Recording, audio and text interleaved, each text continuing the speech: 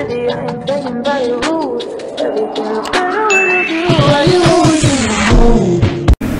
guys, it's Amelia, and we might be getting some new Valentine accessories coming to Royale High. But before I tell you more about that, make sure to like this video and subscribe and turn on notifications. So, I was on Twitter and I found some hot tea bumper.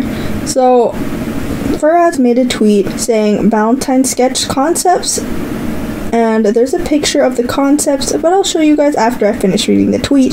And so he says, Some of the concept art I did before starting the actual model.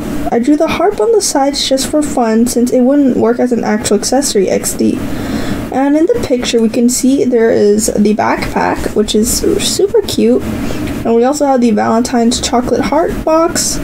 And then the harp accessory, which originally was called a lyre or lyre. I have no idea actually how to pronounce it. Please bear with me. And then we've got the big honking harp, which actually looks really cool. Like imagine holding that in Royale High. It'd just be like Teddy Zilla to be honest. I think that would be so cool. Just this giant thing and you're like strumming it.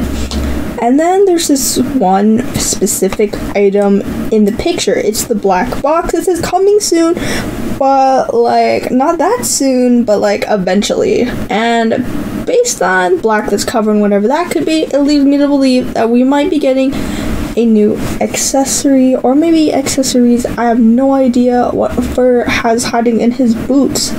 But let me know in the comments below what you guys think this accessory or item could be. I believe it's another instrument personally.